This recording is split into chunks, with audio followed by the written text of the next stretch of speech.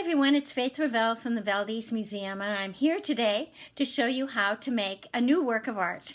And it is similar to this one and based on birch trees and examples that are on display currently at the Valdez Museum and created by elementary school students taught by Sue Keeney. To start, what you need is a piece of watercolor paper. And what you're going to do is you're going to draw or paint on that watercolor paper in a series of circles using round brushes like this and two different colors, blue and green, for example, or a couple of different blues. Then set that aside and let it dry. Then to make your trees, your birch trees, like an example right here, you'll need another sheet of paper, which is a long sheet, the same size or length as your watercolor paper, but much lighter. And you're going to tear those long birch trees down and get a natural edge. You'll get out your glue and add a little glue to it and then glue your tree. Oh my gosh, that's a great big tree onto the surface of your paper. I'm going to add three trees to the surface of my paper here. Three great big ones. Oh my gosh, they are wandering and walking all over the place here on my table.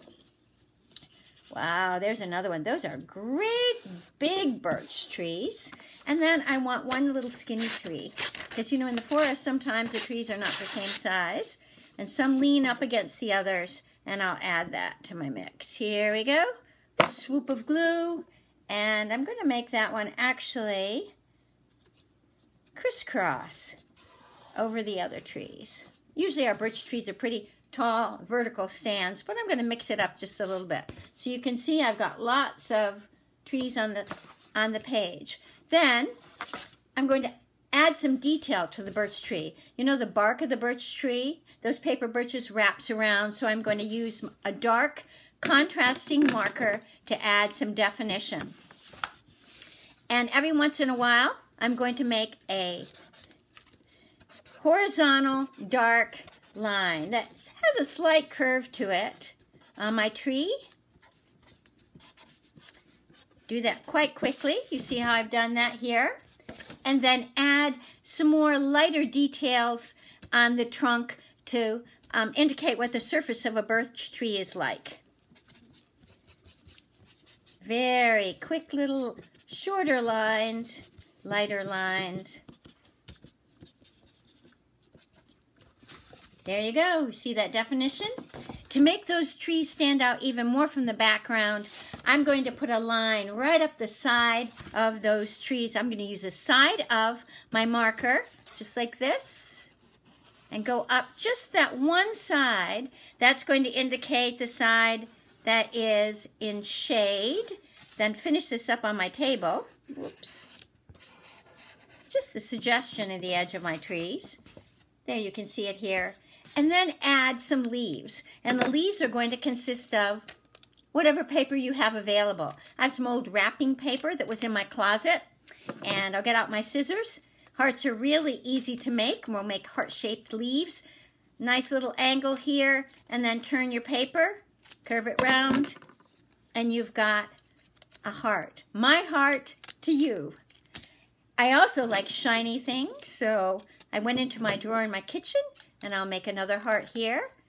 Nice little angle, curve my paper around, let the curve and my fingers do the work for me, and make another heart. Oh my gosh, my heart is broken. I didn't pay attention. But the good thing is I can glue it back together on the page. Get out my glue stick. Figure out where I want my heart placed on that page. And add it to the mix. Now use a Sharpie with a nice skinny point and add some definition to those leaves by lining first from top to bottom in the center of the tree and then fanning out from the center so that you can add definition to your leaf. Can you see that right there? There you go. Beautiful one. What you'll end up with is a composition a little like this if you stick to silvers and blues and greens and kind of a gray marker. Or perhaps you'll come up with something that's much more colorful, like this one right here that has some red hearts that contrast with the background. Look at how all my circles made the wind appear to blow between my birch trees.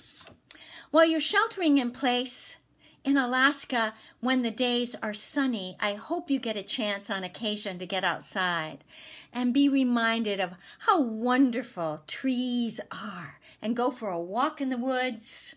See the color and shape in between trees. Listen to the birds sing and just feed and fuel your spirit. So, check out the artwork made by students at the museum on our Facebook page and website. And have a fabulous day. Bye.